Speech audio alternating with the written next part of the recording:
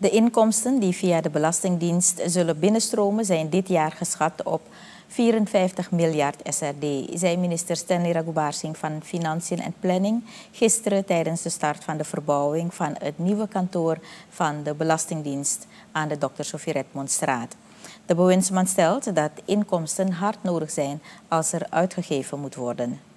Dat is anderhalf miljard US dollar. Dat is veel geld. Dat betekent dat die Belastingdienst over waarschijnlijk de grootste pot van geld in dit land gaat. In en uit.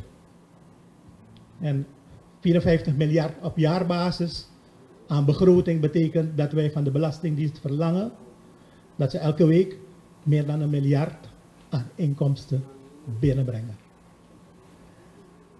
Zodat we alles kunnen betalen.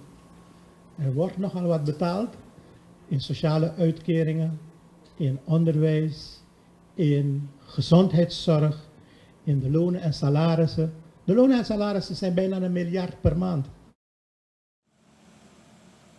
Raghubar Singh zegt dat de staat, de Belastingdienst en de douane zeer erkentelijk is voor hun bijdrage. De Belastingdienst heeft eraan gewerkt dat de belastingdruk eindelijk in onze geschiedenis, we praten er tientallen jaren over, dat die druk verlegd wordt van inkomen. Dat je niet vooral op je inkomen belasting betaalt.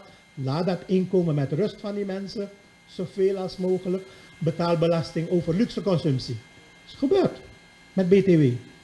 En als wij kijken naar de resultaten van de BTW. Gisteravond heeft directeur, zij werkt, er zijn meer mensen op dit ministerie. Die als ik drie uur in de ochtend iets vraag, dat, dat ik dat vijf over drie heb.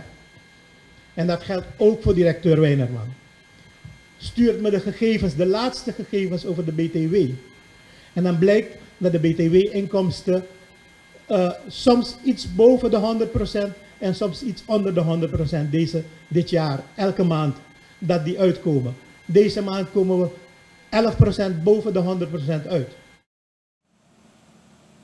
De gestelde belastingdoelen over toegevoegde waarde worden wel gehaald, meent Raghubar Singh. En wel met alle tekortkomingen die aanwezig zijn bij de belastingen en de douane.